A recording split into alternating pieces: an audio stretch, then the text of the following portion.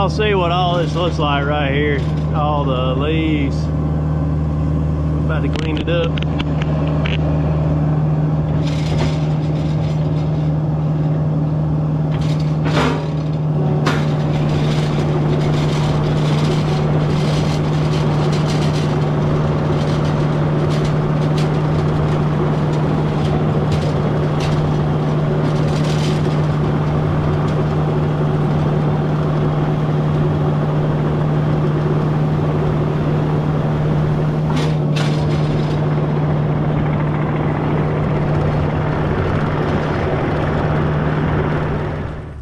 This is what it looks like wrapped up. That was their fire ring right there. They had big rocks, gray rocks all around it.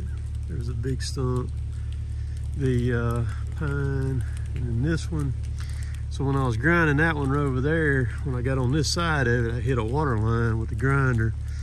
And I thought the water line went right through the stump until I dug it up this morning. And what it was, there was a, uh, they had a spigot there at one time they come in there and then turned up beside that oak tree and they had taken the spigot out and just capped it down there underground. The line wasn't but just about six inches under the surface of the ground right there is all it was. So I, uh, I had everything with me to fix it with except for a three quarter cap, uh, which I will have on my truck from this point forward. I've got everything else, but I had, uh, I got a friend of mine that does a lot of plumbing work that's right up the road here about a couple miles.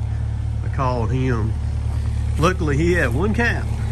Is what he had, so I got it fixed. But I'm about to move on up. Well, I've already moved everything to the other one except for this machine here, which is uh, we're just going right up the road up there where my buddy lives that does the plumbing work toward his place up there and tackle another one